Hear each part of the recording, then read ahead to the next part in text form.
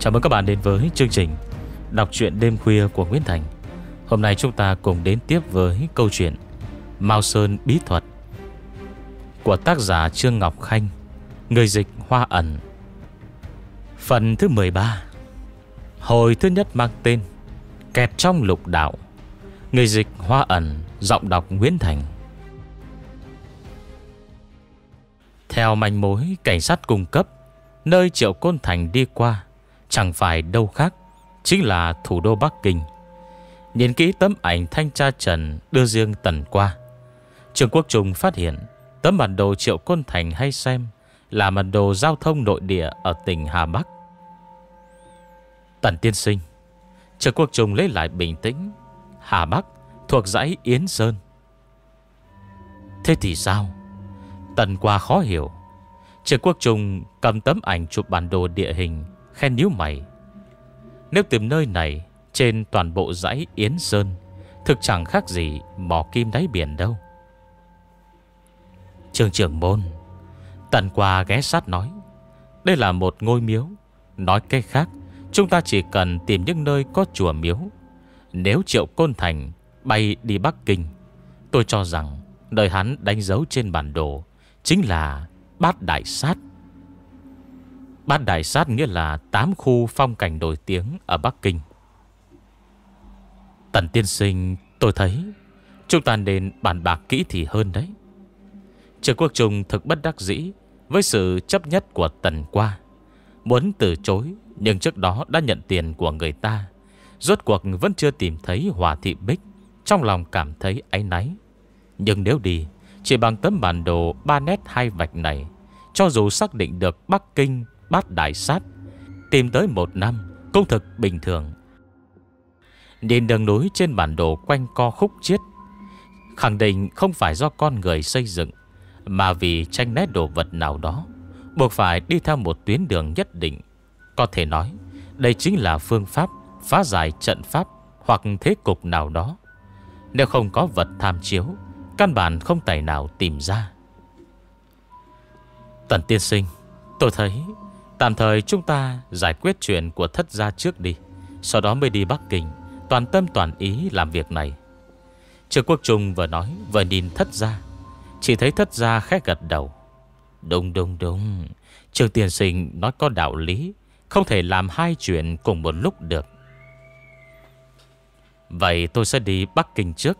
Trương trưởng môn, Sau khi cậu thu xếp xong việc bên chỗ thất gia, Hy vọng có thể mau chóng tới đó. Hội họp cùng chúng tôi. Bộ dáng tần qua Đã gấp đến độ không chờ nổi. Lôi ra quyền sổ nhỏ, Xé một tờ, Viết vài chữ lên đó. Đưa cho Trương Quốc Trung. Đây là địa chỉ một người bạn của tôi ở nội địa.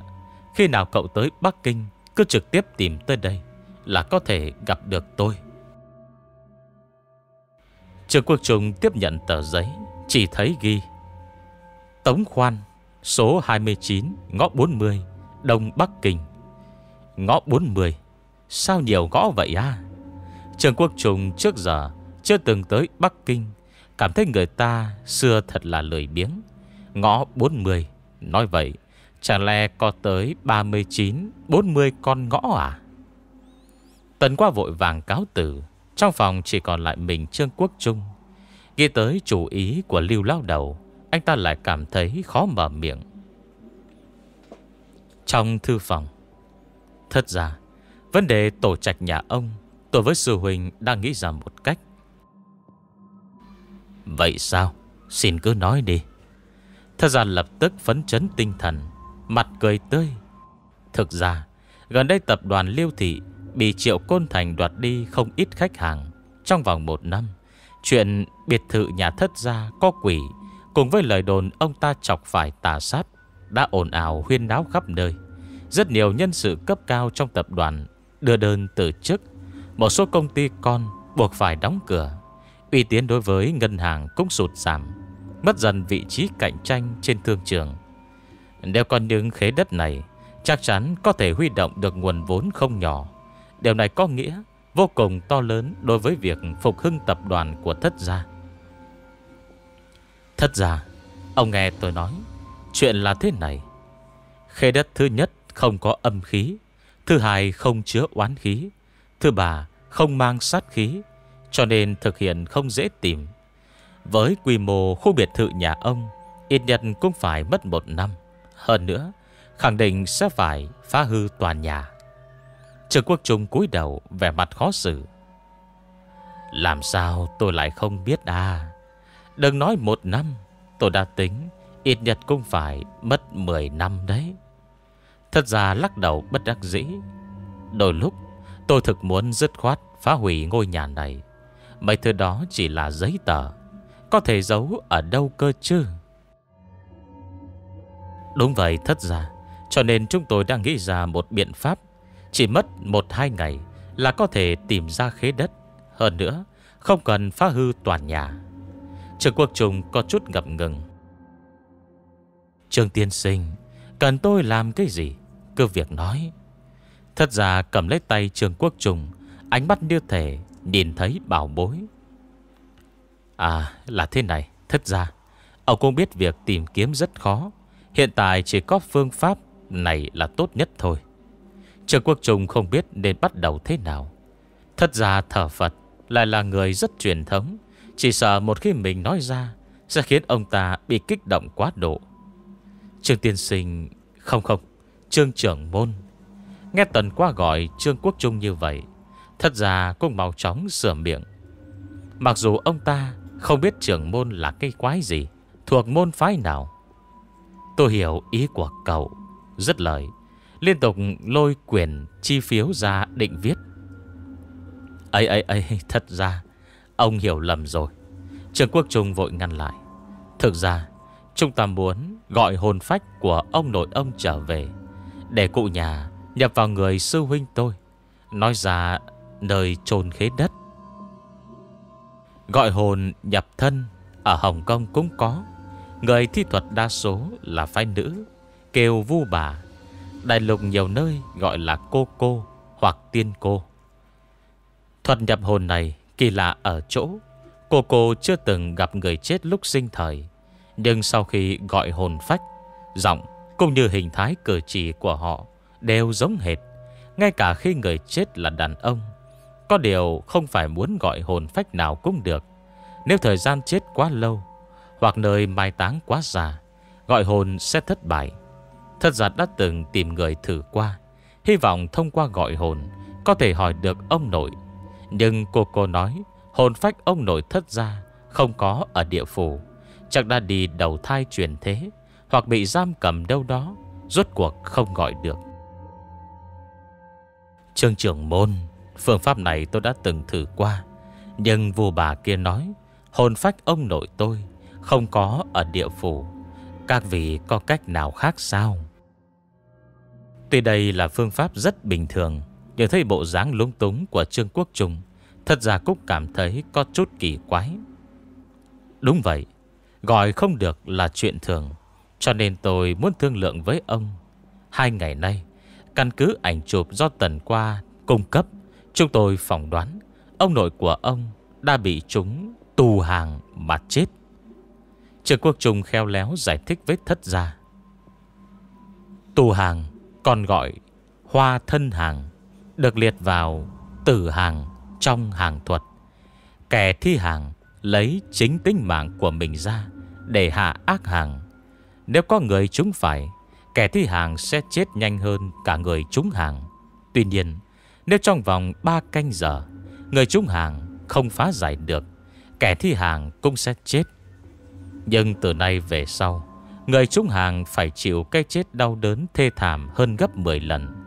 Hồn phách không thể rời khỏi thân xác Thuật ngữ Phật giáo gọi là Đốn túc lục đạo Lục đạo bao gồm thiên đạo, Atula đạo nhân đạo, súc sinh đạo, ác quỷ đạo, địa ngục đạo. Đốn túc lục đạo, nói một cách thông tục, thì chính là bị nhốt trong lục đạo không thể luân hồi, vinh viễn kẹt lại giữa nhân đạo và ác quỷ đạo. Đạo giáo cho rằng, người sau khi chết 7 ngày, linh hồn mới nhận ra là mình đã chết, mà người chúng tù hàng, linh hồn vĩnh viễn cho rằng mình vẫn còn tồn tại Tiếp tục lưu lạc trong thân xác. Cùng có cảm giác giống như người sống, tận mắt nhìn thấy người thân chôn xác của mình vào lòng đất, cảm nhận được thân thể mình hư thối từng chút một, đau đớn như bị trùng gặm chuột cắn, cho đến khi trở thành bộ xương khô, vĩnh viễn không thể rời đi. Trong hàng giáo, loại hàng này thuộc về cấm thuật, cho dù vào triều nguyên, thời kỳ hàng thuật cường thịnh nhất, số người biết thi triển cũng chỉ đếm trên đầu ngón tay. Thất gia nghe xong Toàn thân nổi da gà Trương Trương trưởng môn Cậu thật sự cho rằng Ông nội tôi đã bị pháp thuật này hại chết. Nhưng lúc đó bác sĩ chuẩn đoán, Ông cụ bị suy tim mà. Đúng vậy, Thất giả. Ông phải tin tôi. Cho nên, Trương Quốc Trung thấy thời cơ đã chín, Ghé tài thất ra thì thầm. Cho nên, một là vì cứu tổ tiên của ông thoát cảnh đầy đọa, Hai là vì tìm kiếm khế đất. Chúng tôi cho rằng nhất định phải khai quan phá hàng. Lật xác chiêu hồn. Lời vừa ra khỏi miệng, Đầu óc thất ra lập tức choáng váng, Ngồi cứng đờ trên ghế. Ông đừng kích động, Đừng kích động mà. Trường Quốc Trung cũng trột dạ. Người Hồng Kông chú ý nhất Chính là lễ nghi đối với tổ tiên, Đào sới phần mộ tổ tiên nhà mình, Thực không phải chuyện đùa giỡn. Trưởng trưởng môn Thật ra cũng không biết nói sao cho phải. Cậu có thể Để tôi suy nghĩ chút không? Giờ phút này, Nội tâm của thất gia vô cùng mâu thuẫn. Lời Trương Quốc Trung nói, Ông ta cũng bán tín bán nghi. Rốt cuộc sau khi chết, Con người sẽ thế nào? Chỉ có mình người chết biết được. Hơn nữa, cho dù tìm được khế đất, Mạo muội đào phần mộ tổ tiên lên Chỉ là tội đại nghịch bất đạo. Sau này chết đi, Làm sao dám nhìn mặt tổ tông? Ông cứ từ từ suy nghĩ. Tôi ra ngoài trước. Tù hàng chỉ có công hiệu đối với một người. Cách phá giải cũng rất dễ. Mấu chốt chính là Thất gia có đồng ý hay không. Sáng sớm hôm sau Trương Quốc Trung cùng lưu lao đầu Dân theo một nhóm công nhân, Chuẩn bị tiếp tục công việc tìm kiếm. Bóng A Quang chạy tới. Trương Tiên Sinh, Lưu Tiên Sinh, Lao ra mời các vị qua thư phòng. Trương trưởng môn. Cậu khẳng định Ông nội tôi bị trúng loại pháp thuật Độc ác đó sao? Thật ra nhíu mày hỏi. Thật ra Tục ngữ nói, Nghi người thì không dùng Dùng người thì không nghi. Không ngờ Trương Quốc Trung lên tiếng Liều lao đầu đã thao thao bất tuyệt, Thuận tay lôi từ một tấm ảnh Từ trong túi áo ra.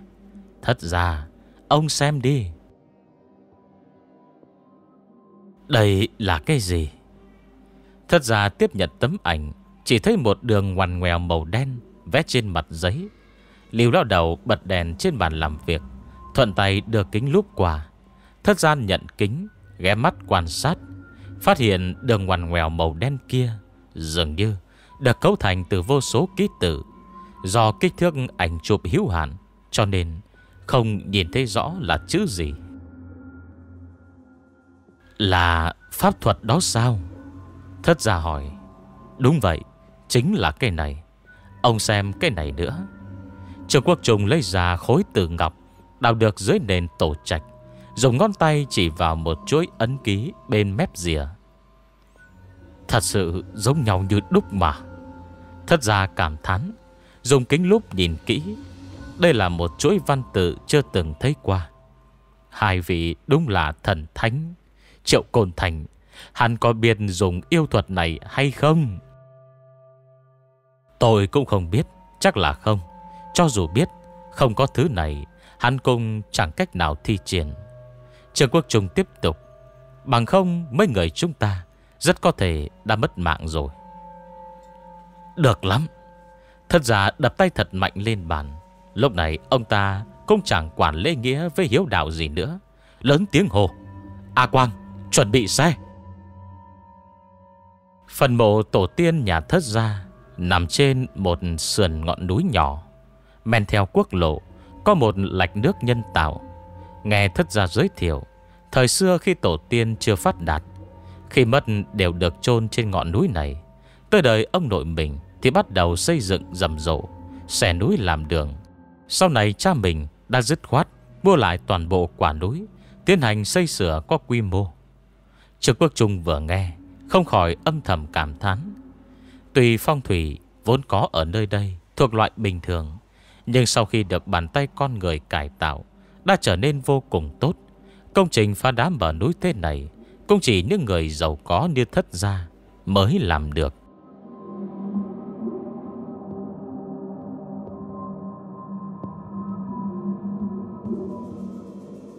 Mời các bạn nghe tiếp. Hồi thứ hai mang tên Quật mộ chiêu hồn. Đời an táng tổ tiên nhà thất gia Là một mộ phần bằng đá cẩm thạch trắng Cỡ siêu lớn, Bia mộ cao hơn 2 mét, Trên có ghi đầy đủ công tích. Trường quốc trùng lướt mắt đọc qua, Tất cả đều là mấy câu ca ngợi tổ tiên. A Quang mặc bộ đồ vest màu đen, Cung kính thắp bàn nén hương. Lúc này mới đi tới trước mặt một đội cổ nhạc, Cùng chục vị hòa thượng đang chờ sẵn ở đó. Một người bê lư đồng, Thất ra cầm hương, Thấp giọng lầm rầm nửa ngày. Cắm hương vào trong lư, Sau đó quay đầu rời đi. A Quang khoát tay, Cổ nhạc bắt đầu hòa tấu, Hòa thượng bắt đầu tụng kinh. Trường quốc trùng xem đến choáng váng, Không biết rốt cuộc thất ra nghĩ cái gì. Lần này dù sao Cũng tới đảo mộ không phải cúng dỗ, Khua trường có trống dùm beng làm cái gì. Thật ra là nữa chúng tôi sẽ giúp ông siêu độ tổ tiên. Nhiều người như vậy, Dương khí quá nặng, Bất lợi cho việc gọi hồn đấy.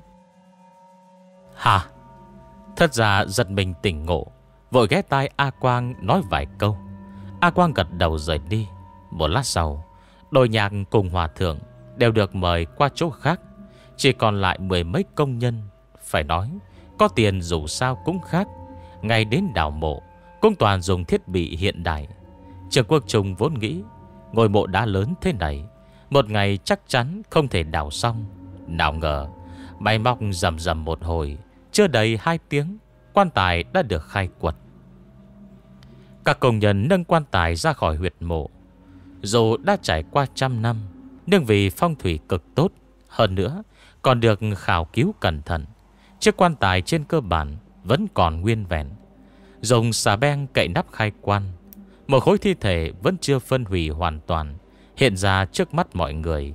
Bất ngờ chính là, Mặc dù thi thể đã bị hư thối nghiêm trọng, Nhưng không hề bốc mùi khó ngửi, Chỉ phảng phất mùi tanh tanh. Từ quần áo người chết có thể thấy, Thời điểm hạ táng, Chắc vào cuối thời nhà Thanh. Tuy hải cốt cắt tóc ngắn nhưng mặc trên người lại là Trang phục truyền thống triều Thanh. Cẩn thận quan sát một phen, Sự chú ý của Trương Quốc Trung và Lưu Lao Đầu Lập tức tập trung lên phần đầu của cái xác. Trên mặt chỉ còn dính chút da thịt, Bị vặn sang một bên, Miệng há to, Vẻ mặt thống khổ. Không sai, Chính là tù hàng. Trương Quốc Trung cúi người Xem xét cẩn thận, Mạnh dạn khẳng định thêm lần nữa. Theo lý thuyết, Người sau khi chết Sẽ được thay áo liệm Dân gian gọi là Xuyên trang cố, Cũng như sửa sang lại dung mạo, Đặc biệt đối với gia đình giàu có như thất gia Quyệt không thể để người chết Giữa bộ dạng này mà hạ táng, Còn xoay đầu qua một bên. Quá độc ác mà. Xem ra lời đồn là thật. Người không biết khi nhìn thấy Sẽ cho là bình thường. Nhưng người trong nghề giống như lưu lao đầu, Rõ ràng cảm giác được sự khủng bố Của loài ác hàng này. Sau khi ông cụ chết đi, Vẫn còn chi giác. Ngài nói vậy là ý gì? À Quang đứng bên cạnh vô cùng hiếu kỳ. Người đã chết, Còn có chi giác, Thế chẳng phải quá mâu thuẫn sao? Hồn phách con người sau khi rời khỏi thân xác Sẽ không còn khái niệm về thời gian. Trương Quốc Trung giải thích. Hơn nữa, sau khi hồn phách ly thể, Bất luận xác chết bị hủy hoại thế nào, Cũng không liên quan tới hồn phách. Tuy nhiên, Nếu hồn phách không thể rời khỏi thể xác Sẽ vẫn nhận thức được mọi việc xung quanh. Tổ tiên thất gia đã hạ táng hơn trăm năm. Điều này chẳng khác gì Nhốt ông ta trong quan tài, Chịu đựng đau đớn Do thân xác phân hủy từng ấy thời gian. Trực quốc trung thoáng dùng mình Cảm giác sau gáy Toát khí lạnh.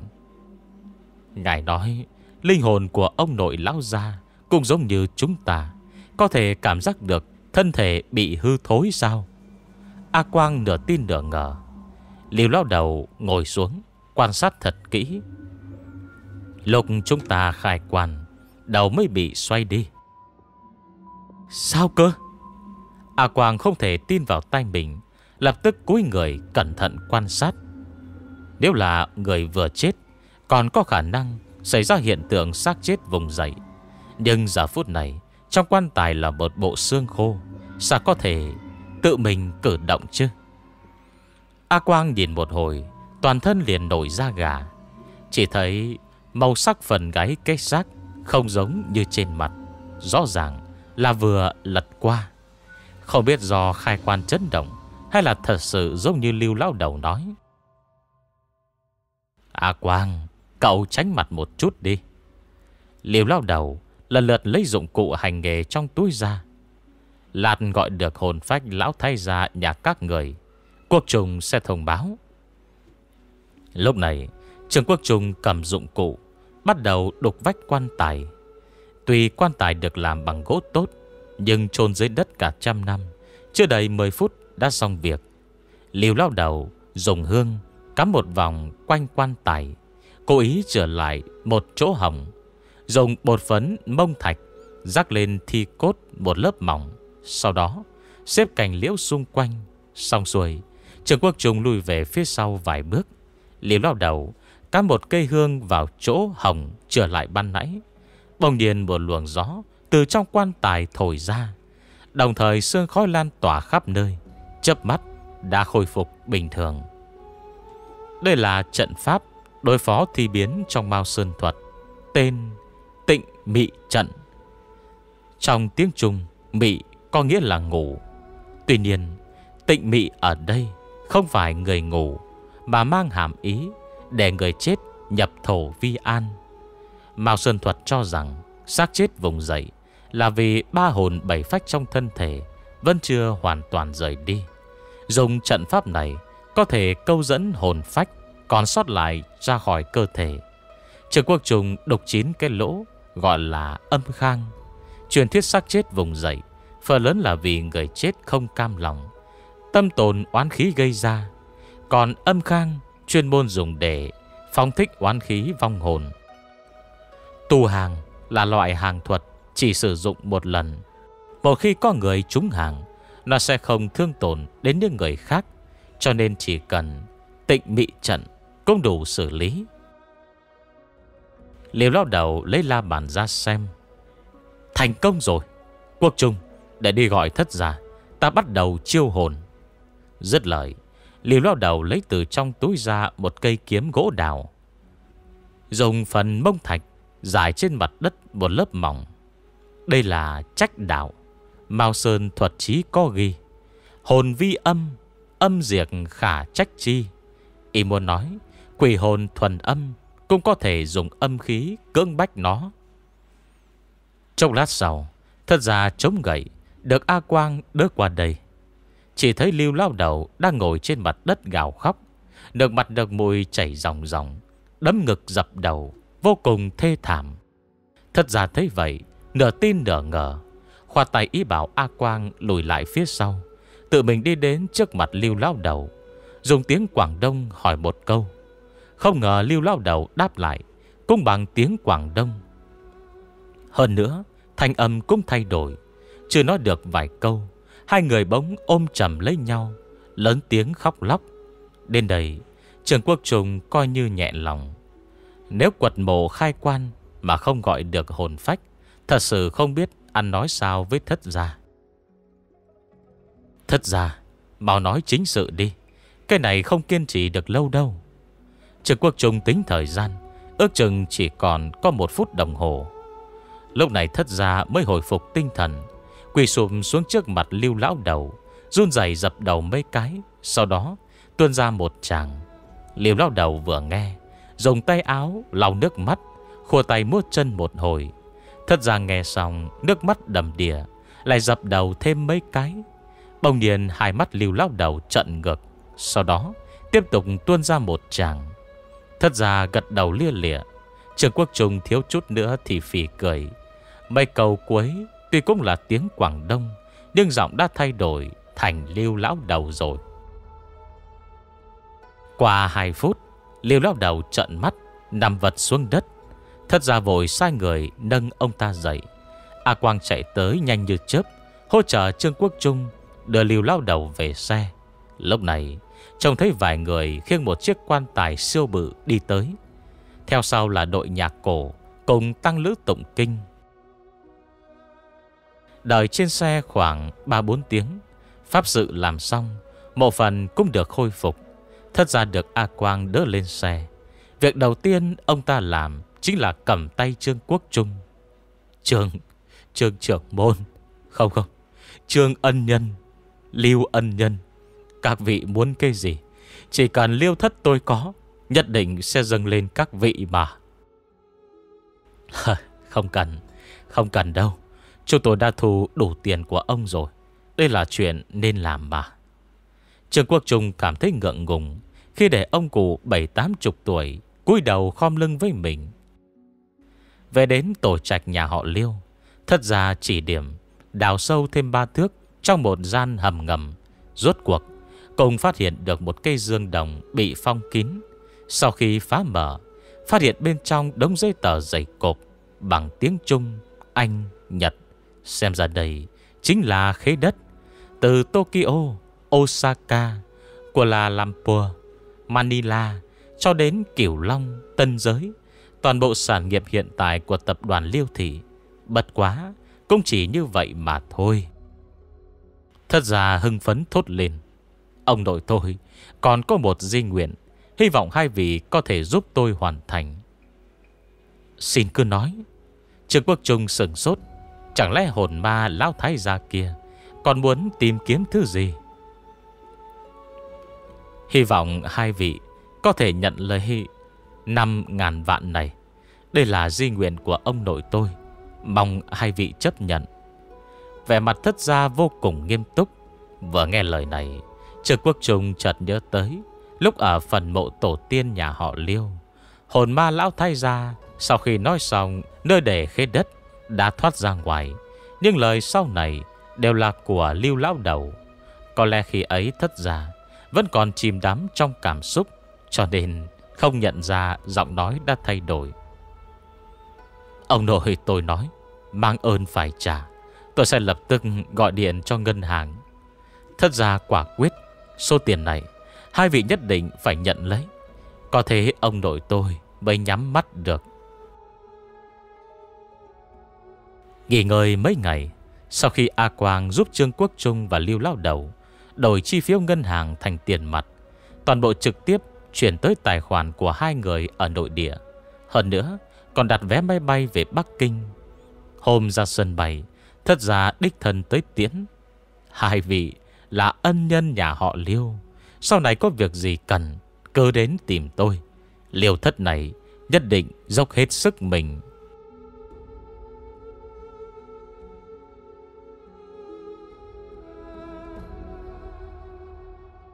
Khu phía đông Bắc Kinh. Xin hỏi, Tống tiên sinh có ở đây không? Trương Quốc Trung cùng lưu lao đầu Bị cái tên lái taxi dù Dân đi lòng vòng, Hết hơn 60 đồng. Rốt cuộc cũng tìm được. Số 29 Ngõ 40 Đông Bắc Kinh. Ai đây? Ra mở cửa, Chính là một cậu bé. Xem diện mạo, chắc vẫn chưa tốt nghiệp trung học. Bà tôi đi vắng rồi. Các vị tìm ông ấy có việc gì?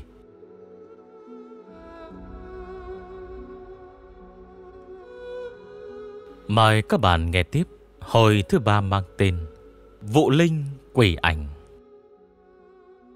Cò bé dẫn Lưu lao đầu Và Trương Quốc Trung vào nhà. Lúc này, Có một phụ nữ trung niên từ bên trong đi ra, Trên dưới đánh giá hai người. Các vị có phải là Trương Tiên Sinh Với Lưu Tiên Sinh không?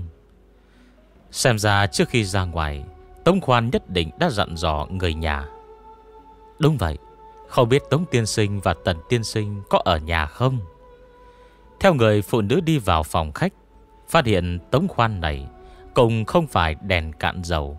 Trong nhà trưng bày bảo bối, Chẳng thua kém gì lưu lão đầu. Ông ấy cùng giáo sư Tần Tới chỗ vương lão. Hai hôm nay, Ngày nào cũng ra ngoài, Cũng không biết bọn họ đi đâu. Nhưng buổi tối nhất định sẽ về Hai vị ngồi chờ một lát nha. Trương Quốc Trung được biết, Tống khoan tiên sinh này Là chuyên gia của Cục Khảo sát Và đo vẽ bản đồ. Tổ tiên Tống khoan Chỉ là nhà khoa học đỉnh đỉnh, Đại danh Tống ứng tinh, Thời nhà Minh. Tác giả cuốn Thiên công khai vật. Cậu bé ban nãy tên Tống Lỗi Là con trai của Tống Khoan. Ngoài ra, Ông ta còn có một người con gái Đang học tại Đại học Stanford ở Mỹ. Cục khảo sát Và đo vẽ bản đồ. Trước giờ Lưu Lao Đầu Chưa từng nghe nói có cơ quan này. À đúng vậy. Đó là nơi tiên sinh nhà tôi công tác.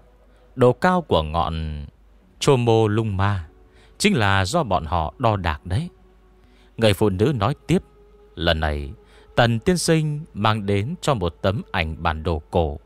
Tiên sinh nhà tôi cũng không dám chắc, Cho nên hai hôm nay Ngoài trừ chạy ra vùng ngoại thành, Còn lại chính là tới nhà vương lão. Vương lão là ai? Trương Quốc Trung hoàn toàn không biết gì Về mạng lưới quan hệ phức tạp của tần qua. À Ông ấy là thầy nhập môn của tiên sinh nhà tôi. Chuyên gia địa lý học, Hiện đã về hưu. Trong dáng vẻ của người phụ nữ, Xem ra cũng có xuất thân từ danh môn.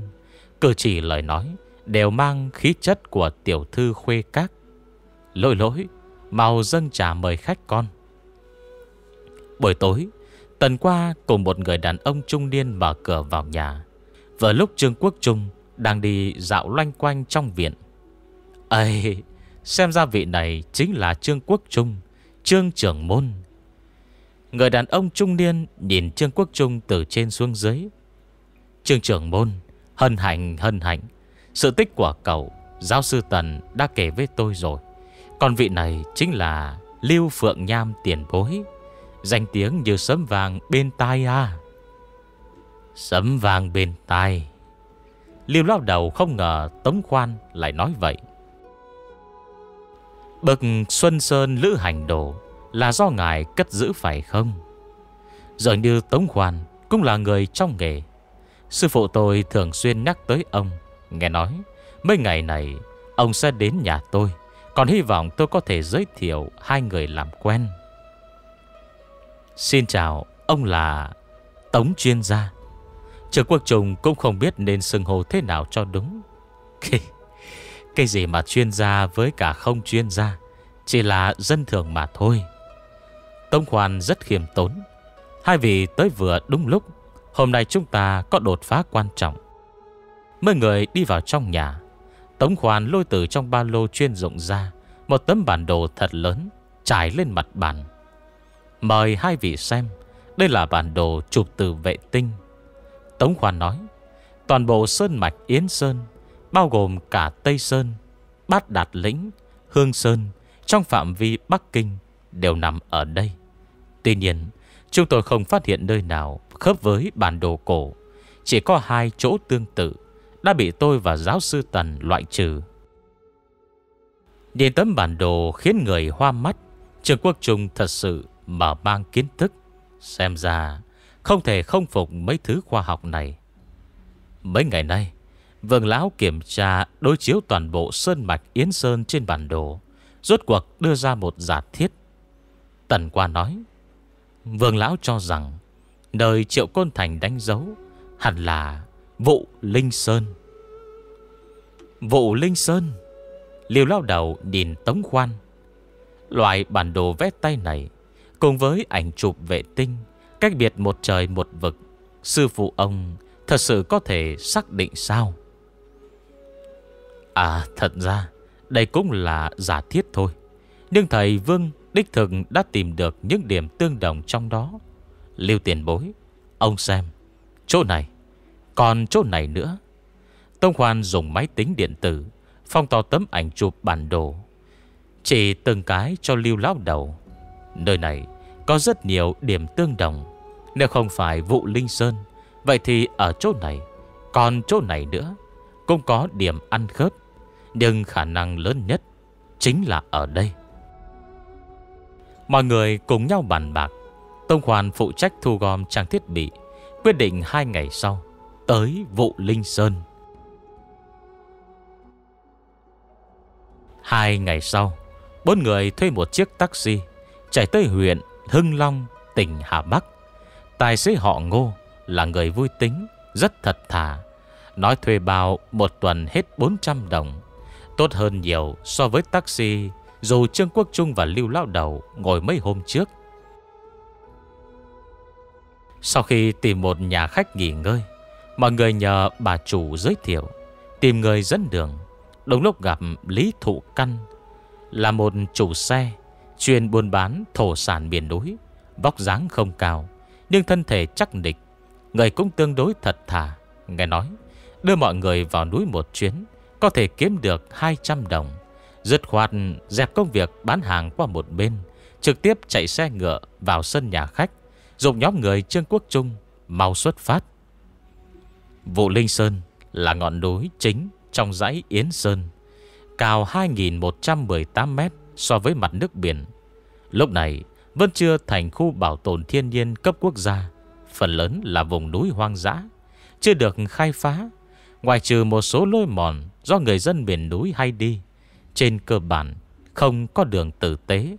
Lên đến giữa sườn núi, Trương Quốc Trung dùng tay làm mái, Che nắng nhìn ra bốn phía. Tống tiên sinh, Nơi này có chùa miếu gì không? Tôi lớn lên trong núi, Chưa từng nghe trên đó có miếu à. Lý thụ căn nghe vậy, Cũng chen vào một câu. Trương trưởng môn, Không cần vội đâu. Hiện tại chúng ta còn cách điểm đến Một ngày đường núi, Ra quyết luận e hơi sớm. Tông Hoàn rất có lòng tin Đối với suy đoán của sư phụ mình. Đi thêm khoảng 2 tiếng đồng hồ Bọn họ tới một nơi tương đối bằng phẳng. Lúc này, Sắc trời sắp tối. Mọi người chuẩn bị hạ trại qua đêm ở đây. Đi tiếp, Phía trước chính là một đầm nước sâu.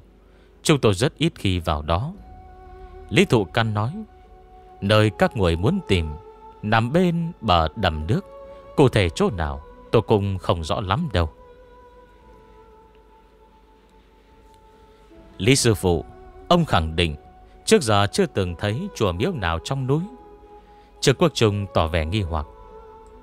Không có, Đây là núi hoang. Nếu có chùa miếu, Thì cũng phải có hòa thượng, Đúng không?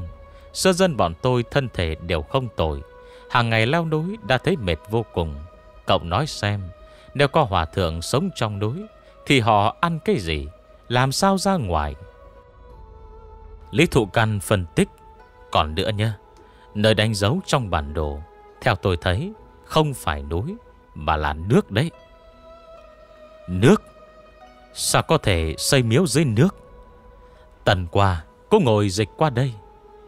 Chẳng phải tôi đã nói Là không có miếu sao?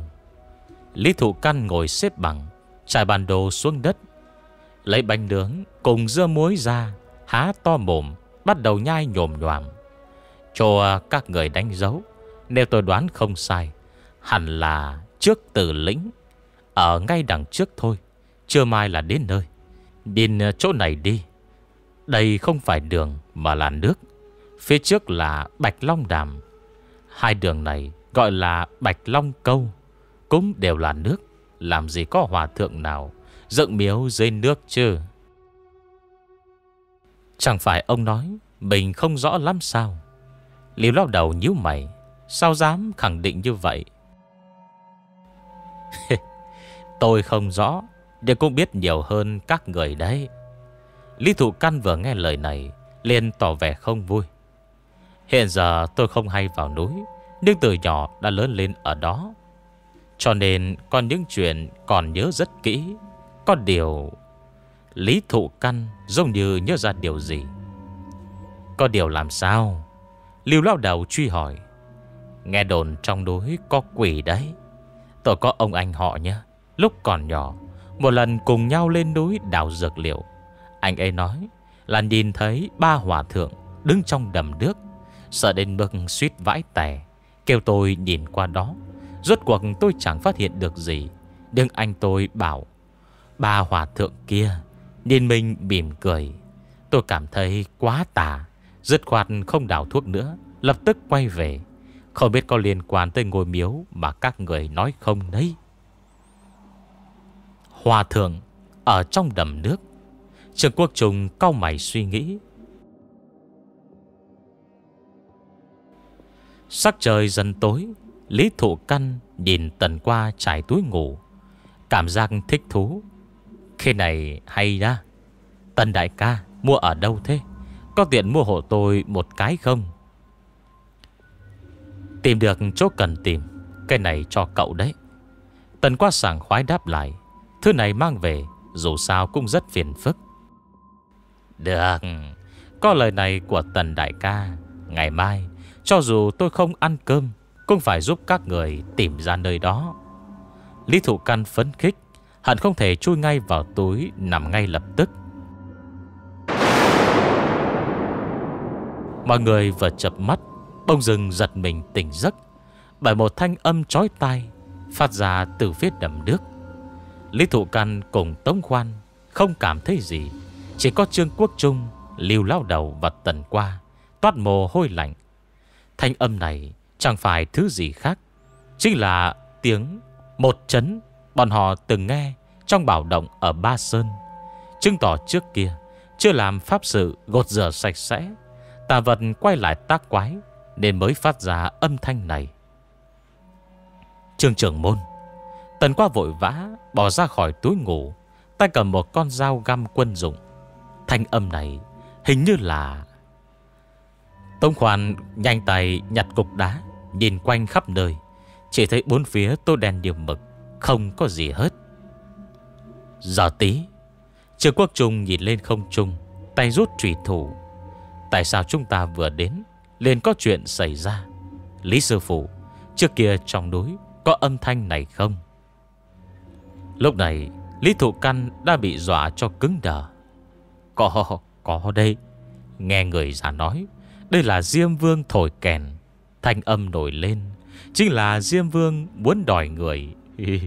Trong đối Sắp có người chết M, Mau chạy thôi. Người già biết sao? Trương Quốc Trung vừa quan sát bốn phía, Vừa hỏi Lý Thụ Căn bên cạnh, Có ai từng nghe thấy? Không Không chỉ người già.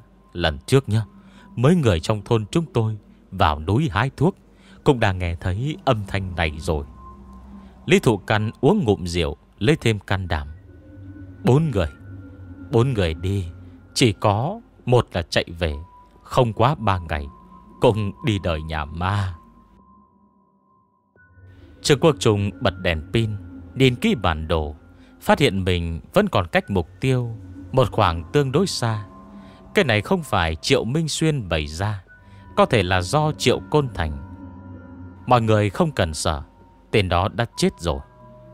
Thực ra Trương Quốc Trung nói vậy Cũng chỉ giúp mọi người tiếp thêm can đảm. Dù sao Triệu Côn Thành Cũng đã bị mình và Lưu Lao Đầu giải quyết.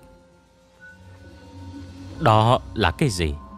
Dường như Tống Khoan Phát hiện thứ gì, Không khỏi lui về phía sau vài bước Xuyệt nửa va vào người Lưu lão Đầu. Theo hướng tay Tống Khoan chỉ, Mấy chiếc đèn pin đồng loạt chiếu qua, Chỉ thấy Dưới gốc cây cách chỗ bọn họ chừng 30-40 mét Xuất hiện một bóng trắng, Chớp mắt đã không thấy đâu. Ở đó hình như có thứ gì?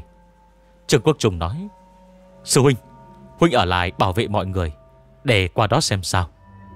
Trương Quốc Trung đeo ba lô, Nhanh chân đi về phía cây đại thụ Cách đó không xa.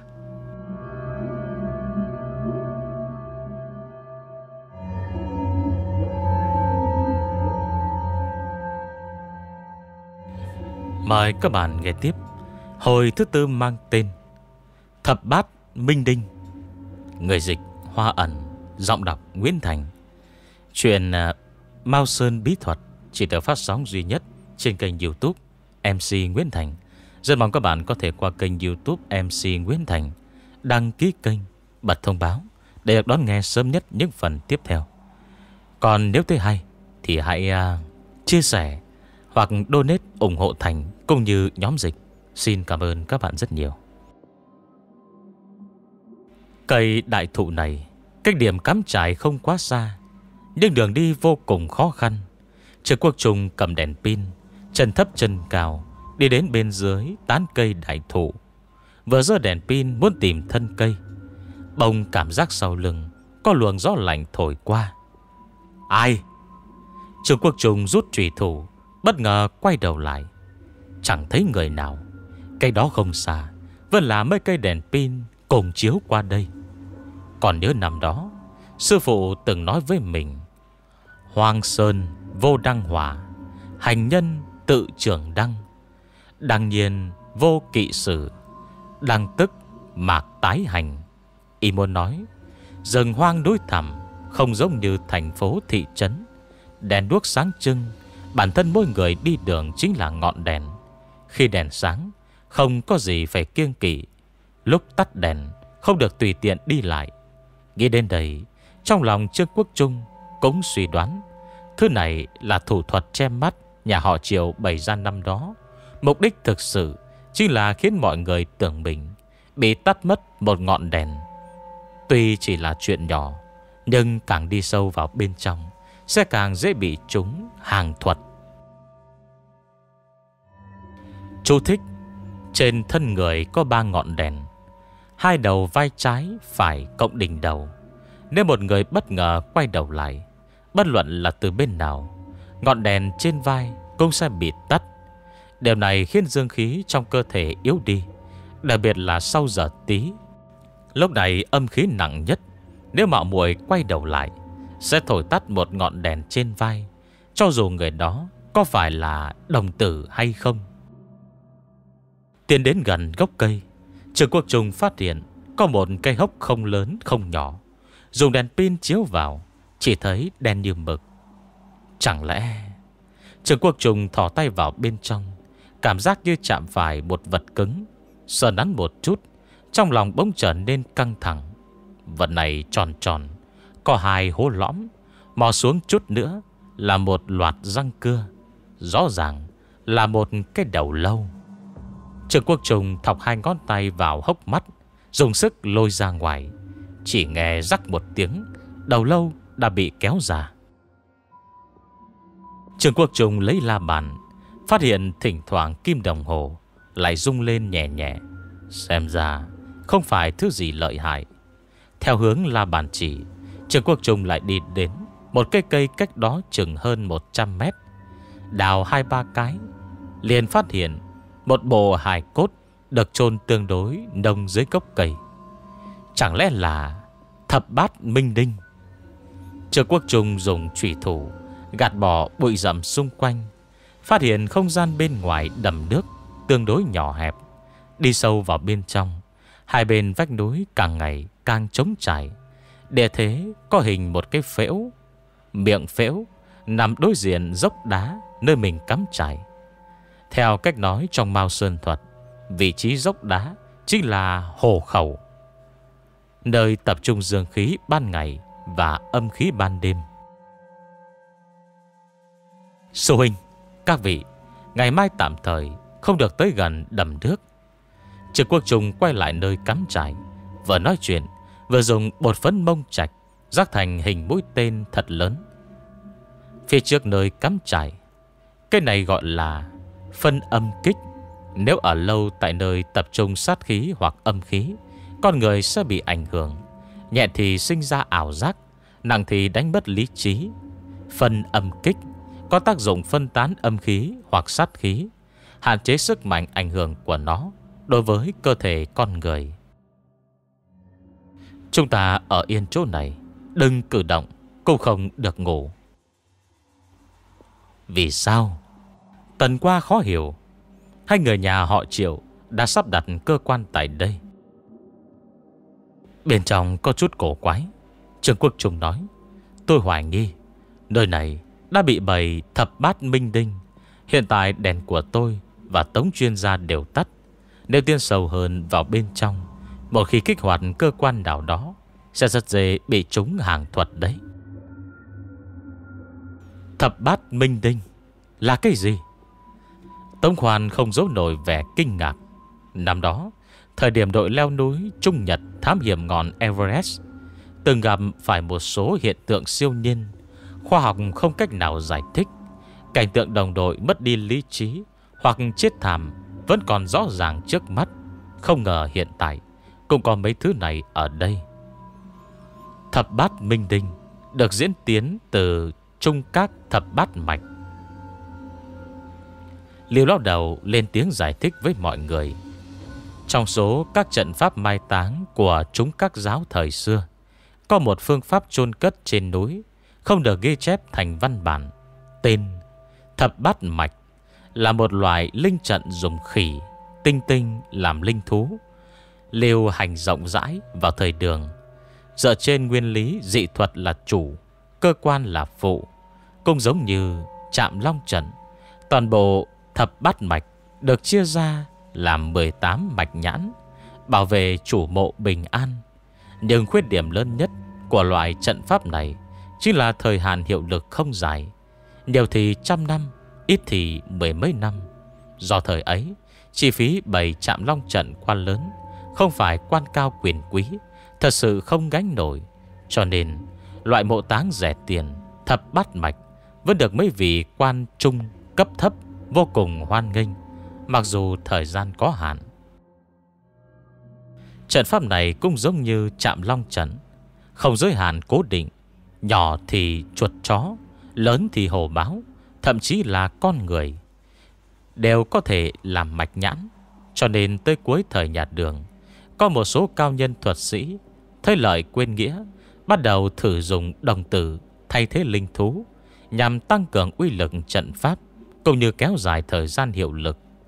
Dùng đồng tử bố trí Thập bát mạch Gọi là thập bát minh đinh Bởi phương pháp này trai với thiên đạo Cho nên từ ngày Bốn chữ thập bát minh đinh ra đời Lên bị trưởng môn các đời Của chúng các giáo Ra lệnh cấm sử dụng Thậm chí đến thập bát mạch cũng bị cấm. Đây cũng là nguyên nhân vì sao trận pháp này không được ghi lại chính thức trong chúng các chân ngôn. Tuy nhiên vì lợi ích, một số kẻ phản giáo trong dân gian vẫn bất chấp dùng trận pháp này cũng như lén ghi chép thành sách truyền lại cho đời sau cho đến khi nhà đường sụp đổ. Liêu tiền bối quả nhiên kiến thức uyên bác. Tông hoàn chưa từng nghe qua mấy cái thứ này Đương nhiên cảm thấy hứng thú. Ấy trương trưởng môn Đèn tắt là ý gì? Sau khi nghe Trương Quốc Trung giảng giải cặn kẽ, Tông Hoàn cũng vã mồ hôi lạnh. Như lời cậu nói, Nếu chúng pháp thuật Sẽ có hậu quả gì? Giống như lời Lý Sư Phụ nói, Đi bốn về một, Ba ngày sau cũng mất mạng. Lúc này, Trương Quốc Trung đã bày xong Phân âm kích, Định hỏi thêm Lý Thụ Căn Về trạng thái của người chết khi đó. Tiện cho việc lựa chọn đối pháp, Nghiên cứu kế hoạch tác chiến. Sau khi trở lại nơi cắm trại Bông phát hiện Có điểm không thích hợp. Lý Sư Phụ, Lý Sư Phụ đâu rồi? Trương Quốc Trung phát hiện, Lúc này Lý Thụ Căn không có ở đây. Mấy người đang ngồi cũng cảm giác được sự khác thường. Vội vàng cầm đèn pin, Chiếu khắp nơi. Chỉ thấy xung quanh ngổn ngang toàn đá, Cây cối bụi rậm um tùm con đường nhỏ mọi người đi lên. Trong phạm vi có đèn có thể chiếu sáng, Chẳng thấy một bóng người. Quái nhỉ, Vừa rồi còn ở đây. Lý sư phụ, Lý sư phụ. Mọi người kêu lớn vài tiếng, Xung quanh không hề có chút động tĩnh. Có phải thằng nhóc này sợ quá, Tự mình bỏ chạy rồi hay không đây? Liễu lao đầu, Dùng đèn pin chiếu về phía khe suối. Không thể nào, Ở đây nhiều người có sợ cũng còn hơn một mình chạy đi chứ? Trường Quốc Trung nói, Tôi tìm xung quanh xem sao. Mọi người cứ cả yên đây đi. Dứt lời Trường Quốc Trung men theo lối mòn, Xuống dưới tìm Lý Thụ Căn. Mới đi được hơn 10 mét, Chợt nghe từ nơi sâu nhất của đầm nước Vang lên tiếng một chấn chói tai. Ngay sau đó Là tiếng lưu lao đầu Kêu được một nửa. Quốc. Đột nhiên, Xung quanh im bặt, Không động tĩnh. Trường quốc trùng quay đầu lại, Phát hiện Cả nơi cắm trại Lẫn ánh sáng đèn pin Đều đã biến mất. Trường quốc trùng vội vàng quay trở về. Ngay lúc này, Bông cảm thấy cổ chân Bị một đôi tay túm chặt. À! Trương Quốc Trung giật mình hét lên một tiếng, Tay cầm trùy thủ, Xoay người, Phát hiện thì ra là Lý Thụ Căn. Ây, Nhỏ tiếng một chút. Tiếng Lý Thụ Căn phát ra như chuột Nằm trong bụi cỏ ra hiệu bảo Trương Quốc Trung nằm xuống. Lý Sư Phụ Sao anh lại ở đây? Trương Quốc Trung nhìn vào hai mắt Lý Thụ Căn Không giống như bị quỷ nhập thân. Trương Đại ca Đừng qua đó. Diêm Vương già tới rồi đấy Mau chạy thôi. Dòng Lý Thụ Căn run rẩy như sắp khóc. Diêm Vương bắt người, Không chạy là mất mạng nga Vừa rồi tôi trông thấy Một đội âm binh Sợ muốn chết, Chạy mau thôi.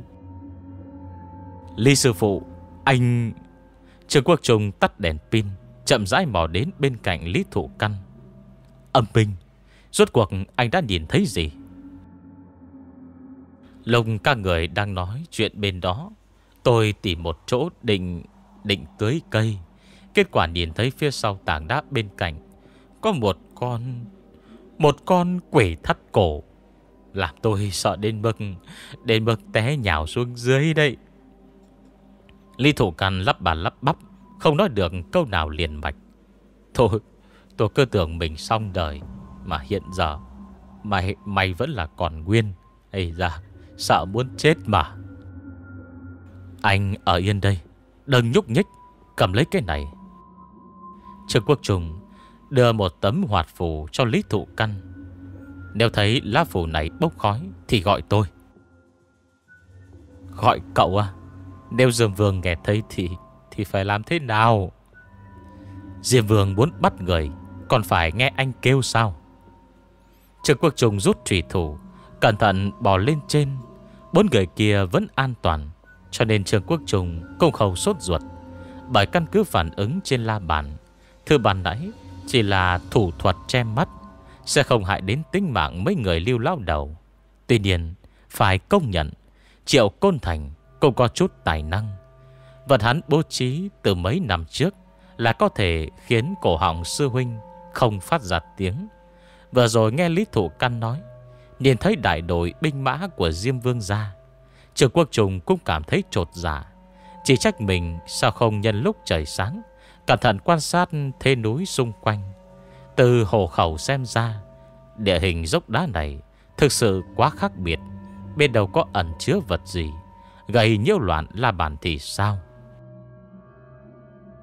Đang khom người bò lên, Bên tai trường quốc trùng Bông chuyển đến Một giọng hát mơ hồ. Thanh âm lúc trầm lúc bỏng Giống như hòa thượng tụng kinh. Nhưng khi nghe kỹ, Lại phát hiện không giống. Câu từ lung tung rối loạn, Chẳng hiểu nội dung là gì, Chỉ cảm thấy sau lưng nổi da gà. Hơn nữa, Càng bò lên cao, Càng nghe được rõ ràng. Ngay lúc Trường Quốc Trung đứng lại, Muốn cẩn thận lắng nghe, Xem tiếng hát này là gì, Thanh âm từ đâu phát ra, Bỗng nhiên cảm thấy Cổ chân của mình Bị ai đó túm chặt. Lý sư phụ à Chẳng phải tôi bảo anh đứng im một chỗ sao? Trường quốc trùng mất hết kiên nhẫn, Quay đầu lại, Lông tóc lập tức dựng ngược.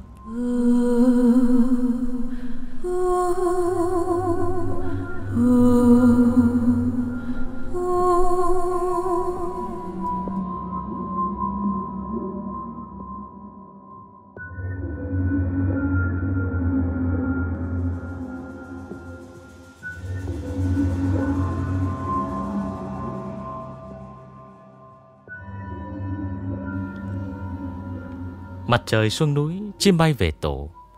Khách qua đường tìm chỗ dừng chân. Kể đến đây đã xong một đoạn, Chuyện ngày mai xin để tính sau. Hồi tiếp theo sẽ diễn ra như thế nào? Mời các bạn cùng đón nghe vào hồi sau.